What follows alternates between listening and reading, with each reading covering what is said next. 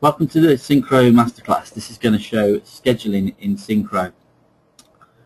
As you can see there is the standard 4D Synchro screen. What I'm going to do is I'm going to close down the 3D window. And now that looks like uh, any sort of scheduling software. You see at the top there there's the default columns. We've got the ID, name, duration, start and finish. I'm just going to pull those across a touch. Just give me a little bit more real estate. And then if I go into tools options and I open up general and then time display you can see the way we've got the time display we've got short date format at the moment. It gives a little sample underneath there how it's going to look. I can change the long date format like that if I wanted to or I can add the display the time of day on there as well. I normally have it on short date formats because it's nice and neat like that then go to duration display format. Again, there's a sample of it there. Uh, concise will be this quite simple way of looking at it. You can change to verbose, and that will say days, hours, minutes on there. I'll change it back to that. You can see in the drop down, you can schedule by days, hours, days, hours, minutes, weeks, days, months, weeks, and days there. Okay, if I move down and open up the Gantt chart, and then rescheduling. I'm going to snap to hours there. We're going to have the automatic rescheduling enabled to start off with. Okay. And then if we go down and I open up defaults for new objects, I'm going to select task. Any new task that I want to create in Synchro, I can choose which task constraints it's got and I'm going to have those to start as soon as possible there. So I'm going to have that selected. And you can see in task ID that it will actually create an ID number there which we can have we can state a prefix, a suffix and the increment of it that can be signed automatically. So that's kind of set off there to get us going to start the scheduling. Okay. Now we can view the Gantt chart. If we go to view and then Gantt mode in work breakdown structure or you can apply activity codes or we can just have a list. I'm going to do work breakdown structure to start off with. We've got the default columns at the top there. We can actually add our own custom columns. If I move my cursor into where the blue area is, I'm going to right click and then select custom columns and you can see all the available columns that we can use there I'm going to put across the predecessors, so I just select it and then select this single arrow and it pops it into the selected column there and I'll do successors as well. When I select OK, if I just move this across a touch, I can see I've got a predecessors column and the successors column as well. You can put any of the other options such as early start, etc. You just need to select it and then it pops in a new one in there. Okay.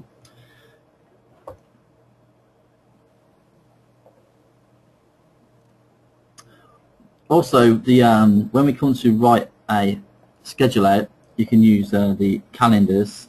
So if we go to the navigator and select calendars, we've got a, a project calendar default, which you'll use, or you can add your own. So if I add my own in here, I just right click and then add.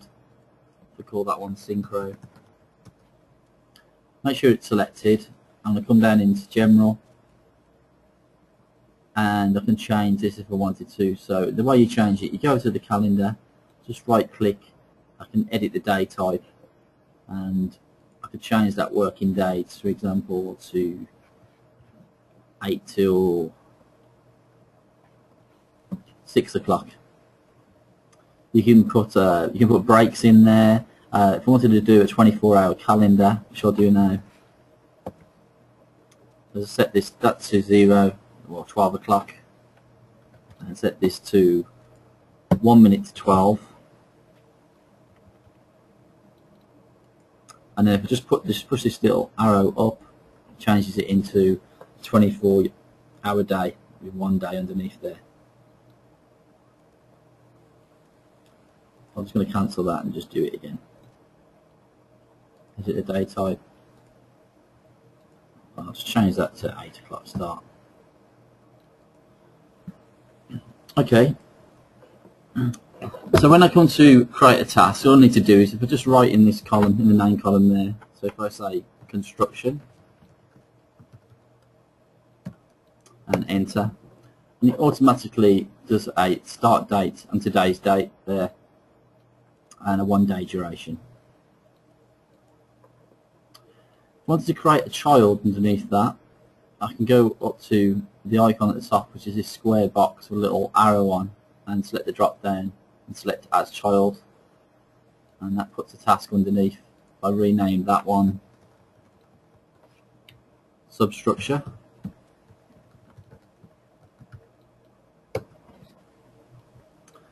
And then I'm going to have some subtasks of the substructure Again, I go up to this icon and select as child, and I can call that one piling. Again, I'm going to put one underneath that, and I could say pile area 1. Once I create task underneath that, uh, I can either select below or I can select the actual cell of the name. Go into the bottom right hand corner, you can see this little grey box turns into cross there. Hold down the left button, I can drag this down and it creates those tasks underneath. One, two, three, four, five. I just need to indent them. So if I select the first one, hold down the shift, select the last one, select indent, and I'm just going to push it across till it's the same level as pile area 1. Change the uh, duration of these. I can just you can either just change it. I can just select and type. So if I say two days for that, or I can select that there and I can press F2 and that allows me to edit say three days for that. Again, if I wanted to, I can just go into the bottom right hand corner and drag that down like that. Okay, now if you want to link these tasks, first of all I'm just going to check which type of link we've got and we've got finish to start there. So whatever's in this uh, drop down box there is what we're going to use. Uh, the calendar of use of these you notice is project calendar there which if you go into general I'm, I've selected that task and you can see calendar is project calendar there. Select the first one and then select the pile area 5 and then select link task and chain which is this icon. Gives us a preview of what's happened. You can see this is uh, scheduling automatically at the moment. If you're happy with that there I can just select apply to all and then select OK. And you can see there it's linked in in a chain like that there. If we wanted to put a delay on say pile area 1 I'd select the task go to links.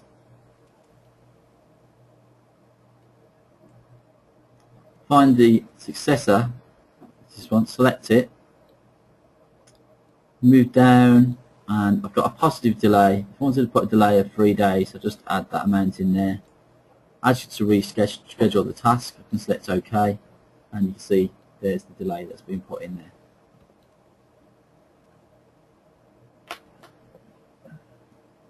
If I wanted to change the calendar at any time, I can select, say, that task there, go to General, and change the, the uh, calendar to the synchron used earlier.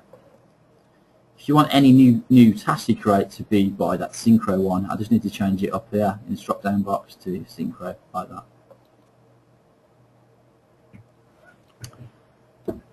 Okay, now I'm going to turn off the automatic rescheduling.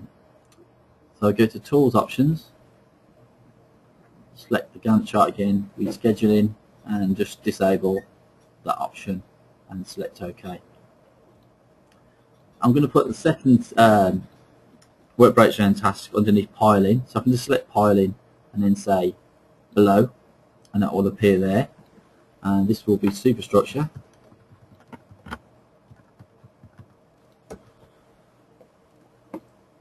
Correct task underneath that. Oops. And then I'm going to indent it this time. and change the name of that to level 0.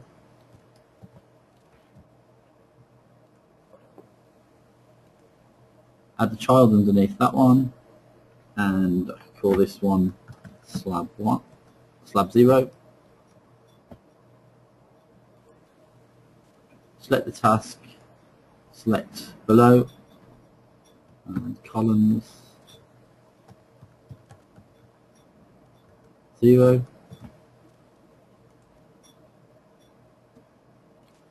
below that one. And beams. 0 I'm going to right click on this level 0 here and say copy tasks. Select that there right click and then paste tasks. And I can then just quickly change the names of these to level 1 slab 1 columns 1 and beams 1. Just need to indent that and again and again so that's on the right level. So we've quickly produced that, that's first level. Okay, I'm going to give the duration for these, so I'm just going to give three days for each, just as an example. Oops, and copy that down. Maybe the second floor will be different floor, sorry. And you'll notice now, because I've got the automatically scheduling off, when I select the first one, last one, go to link them as a chain, you see it's put the link in there, but it hasn't actually rescheduled them yet. And we get this message here saying there are unsustainable links, which means these haven't been linked. There's been linked, but they actually haven't been rescheduled yet. You'll notice those will pop into the alerts now and it just tells you that there's something up with those links there. If I want to uh, manually reschedule, if I just press F9 on the keyboard like I'm doing now, you can see that as manually updated. So the same with the next for level 1. Select them, link in a chain, and then press F9 and that reschedules. And now I'm just going to link these subtasks here, so I could say, roll this up, piling and the superstructure. Hold down control, superstructure. I'm going to link those together. I'm going to finish to start. Press F9. You can see how this is building up. Level 0 and then select level 1. Link in the chain, press F9 and that reschedules like that there.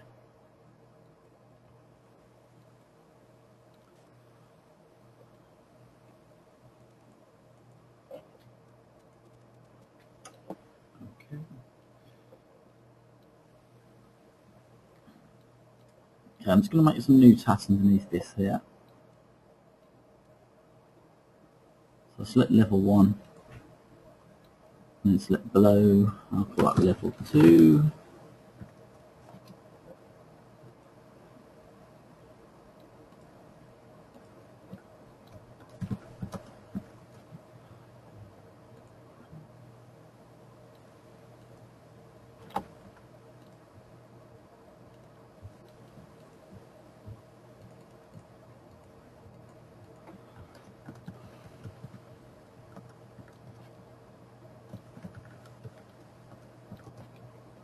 Okay.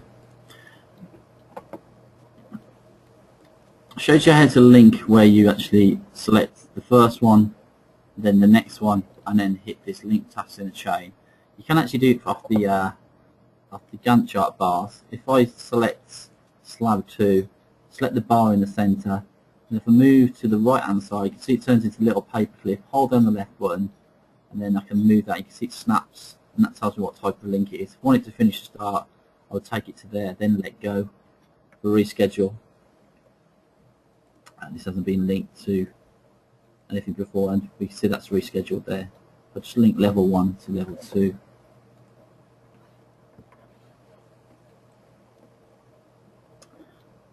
You notice as well that the uh, predecessors and successors have been populated. We can do the link